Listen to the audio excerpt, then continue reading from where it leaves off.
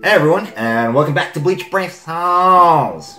Alright guys, so in the last few days we've gotten a lot of news about the game, and you know, individually, I, these news items, I don't think they warranted separate videos, but uh, collectively, I think they do. So I'm gonna attempt to consolidate all the new information into one video so it's easier for you to uh, sort through.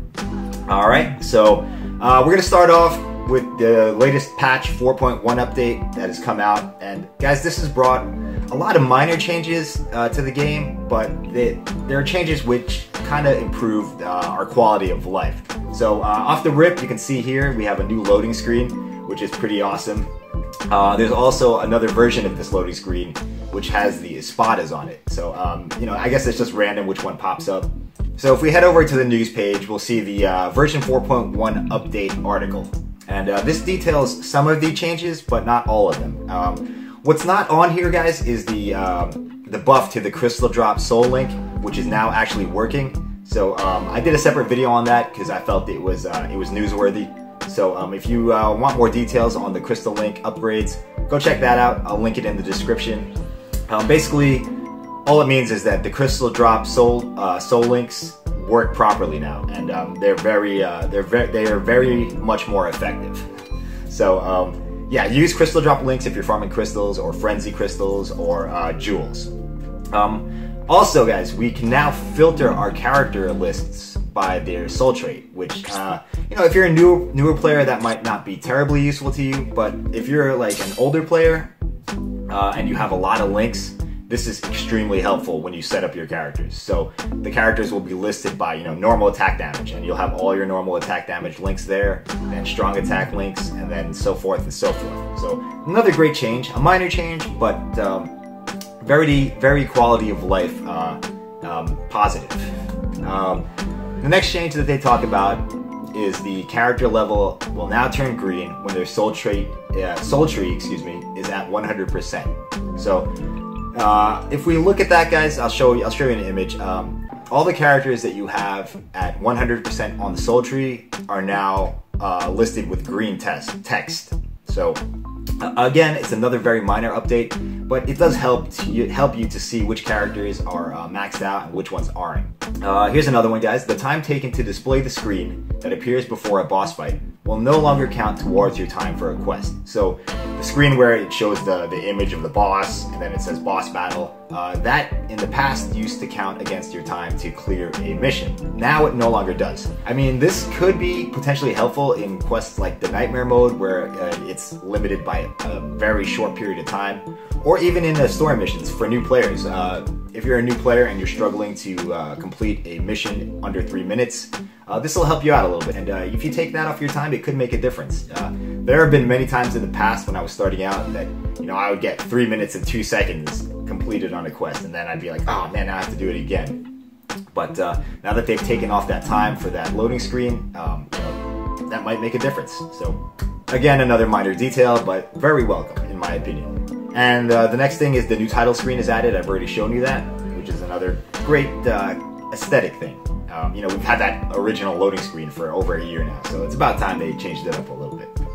Uh, and uh, the last item on this 4.1 patch list is the uh, linked characters appearing as options for Ascension fodder, which is, uh, I haven't experienced that myself. If it was a bug, I'm glad that they fixed it. Uh, no one wants to uh, accidentally use uh, a character they need for Ascension. Alright guys, so other than that, uh, they've also buffed some of the soul traits on the older characters. Uh, you can see the list here. This is also available for you to look at in-game. Uh, to my knowledge, it hasn't been implemented yet, but it should be implemented very soon. And uh, the one worth noting is the 6-star Grimmjow. He's had his soul trait increased from plus 40 attack to plus 100. And guys, that's a lot. Uh, that is actually know, it could change up the meta a little bit. Um, plus 100 attack for a lot of characters is equivalent to, you know, a 20% uh, attack love. So, um, if you do have 6-star Grimmjow, he's getting some love. Uh, some of the other characters are getting their uh, attack but boosted up to 40, plus 40 uh, as well, which is, you know, it's not that significant, but it, it, does help them out a little bit. The Grimmjow, though, by far is a really good soul trait now. 100 attack. So like I said, for most characters, plus 100 attack is the equivalent of a, um, a three-star glove. So uh, it gives you more options in building your characters. And finally, guys, with the 4.1 update, uh, these three characters are getting adjustments to their balance. Momo, the Soul Reaper Momo, is getting an adjustment to her third strong attack recharge time, so I'm assuming it's going to be a little bit faster on the recharge. Uh, the Soul Reaper Academy Renji is getting a chance to burn enemies on his first strong attack, and the 5-star Green Genryusai is also getting a chance to burn, uh, although this one is added to his third strong attack. So, I mean, there are another few minor details, but it will help these particular characters out quite substantially. And it's good to see KLab uh, going back and, you know, making changes to some characters that were a little bit on the weak side. So next, guys, let's go into the news that was released on the uh, KLab Game Station live stream. Uh, they gave us information on some of the new events that are coming up. So the first thing they talked about, guys, is the next event on the global server, which is this one here. Uh, it's called the Men's Soul Reaper Association Operation Fundraising. Uh, you know, it seems like it's going to be a pretty standard event, with the exception of the fact that it drops a four-star Omaeda, and the four-star Omaeda will have an increased coin drop soul trait. So you're definitely going to want to get at least three of these Omaedas and max out the soul trait uh, so you so you can use them in your coin farming team. So uh, once this event comes out, we'll have two different four-star characters that have increased uh, coin drop. Also, they mentioned that there will be another Nightmare Mode event uh, coming out, so uh, I'm assuming it will be just like the other ones we've had. Uh, it's going to require a lot of strategy, and you're going to have to have good characters with good accessories to complete them. And uh, it's going to be geared towards uh, more uh, established players. So, I mean, you know, if you're a new player, you're not going to be able to complete these. Um, but if you're an old player, it's another challenge you can look forward to. And finally, guys, there's going to be two new raids at the end of the month one for Ichigo and one for Ulquiorra.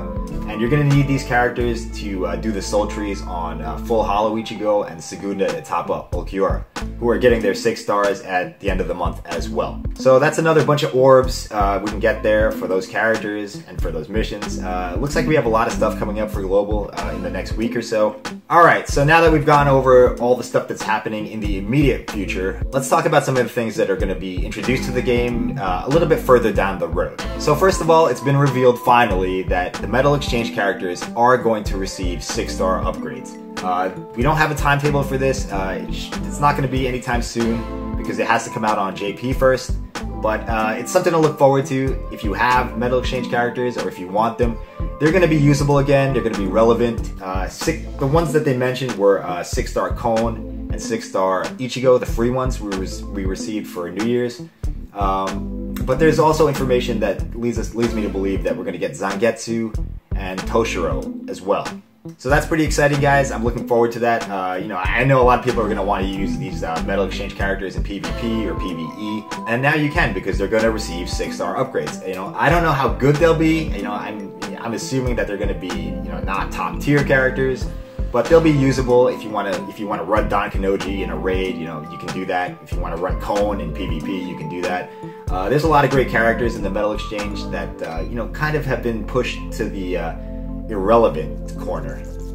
Um, so it's good to see them getting an upgrade. Um, you know, I kind of expected this to happen eventually, but now it has been confirmed. So um, once again, guys, there's no timetable for that. Only it's going to be happening in the uh, in the future. So uh, look forward to that. Also, on the KLab uh, Brave Souls live stream, they mentioned that there's going to be another Medal Exchange character uh, coming out for Japan, and it's going to be a plush Rukia. So if you watch the Fullbringer arc of the Bleach anime, uh, there's a scene where uh, Rukia is fighting Riruka, and uh, Riruka turns uh, Rukia into a plush doll, and we're gonna get that character, which is kind of fun. Um, they didn't show any gameplay of it, but they showed the uh, character screen, which you can see there, and uh, it looks pretty exciting, guys. I know Rukia is a fan favorite, and this character is bound to be very popular.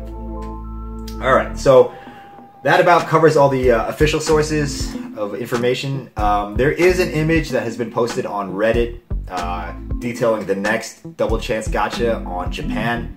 And apparently, guys, it's going to be Fullbring Kenpachi, Fullbring Toshiro, uh, Fullbring Ikkaku, and a four-star Ginjo in his base form. This image from the Reddit is all we have to go on, but uh, it's safe to say that these characters are confirmed. Uh, should be available on JP at the end of this month, and I'm assuming they'll be available on Global at the end of February.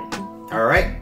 So that about wraps it up, guys. I hope you enjoyed. You know, I could have broken down this information into several separate videos, but um, individually, these news items I don't feel would warrant separate videos, but um, collectively they do. So um, once again, guys, I hope this helped you out. I hope uh, I hope you have something to be excited for, and uh, thanks for watching. I'll see you in the next video.